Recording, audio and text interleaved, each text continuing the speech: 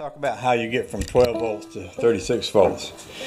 If you pulled a, a negative wire to the black side and a positive wire to this side, you'd have 12 volts. If you wire in parallel, in other words, you start with positive on one battery to negative on the next battery, and then positive from that same battery over to negative on the next battery, and then positive from that one back to negative on this battery, you've got 36 volts because you've got 3 times 12. That's what we've just done here.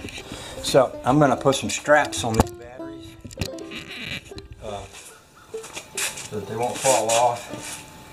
Put a few straps on this whole rig so it's a little, so it's pretty stable. And then we're going to go for a ride again and do a little bit more testing.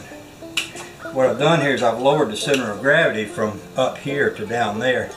I've actually got the batteries lower, just lower a bit, by just a bit, than the center of the axle down there, uh, which should help things tremendously. Uh, I mentioned earlier, you probably disguise that with something like your gas can or something like that, but for test purposes, since we're all just talking fish here, for test purposes we'll go like this. Okay? Okay.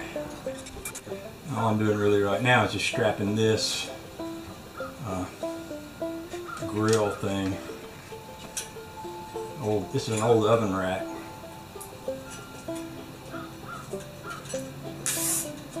I had a, somebody had an oven, a grill stove they'd thrown in the dump. and I saved it out and for the metal out of it. Used part of the metal to fix Josh's Jeep. I used the firebox out of it for a wood box out back for killing wood box. And now I'm using the grill racks for uh, battery holders. That's pretty good recycling right there, I do believe. Pretty good.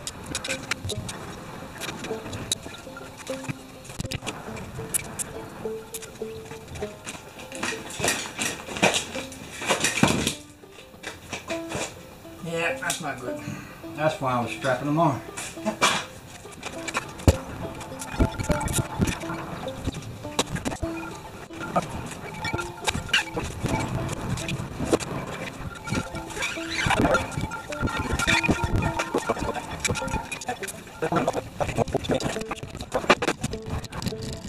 Honey, babe. Yeah. Come with that basket? No, this is our old basket that we had in the barn that I've lost for so long. I finally found it.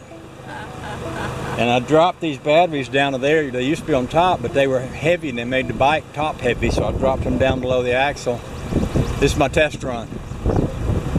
Yeah.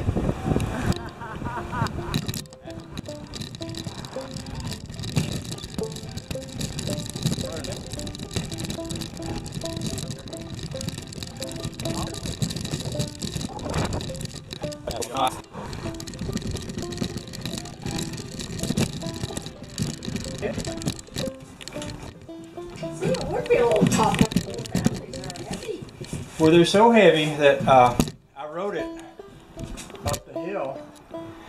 And when I was coming down the hill, my hat blew off. So I turned around and went up and I pulled up where that sign is up there. And I set it on a kickstand.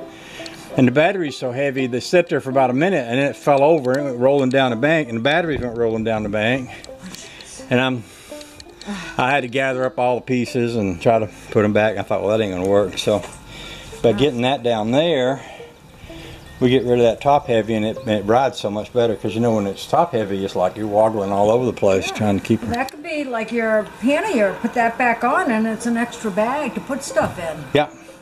Well, I mean, you could still put stuff on here. Uh, this is just a quick little prototype, but uh, you know, I can imagine all kind of possible things you could do back here to sort of hide the batteries or or whatever. But it's uh, it's not a lot different than a saddlebag, sort of. So even uh, I got one saddlebag we had left over from the bike. It actually looked pretty good there, and it would hold a battery. But I was I wanted to get them all on there and take it for a test ride. So yeah, that's why I butchered up an old o- oven rack.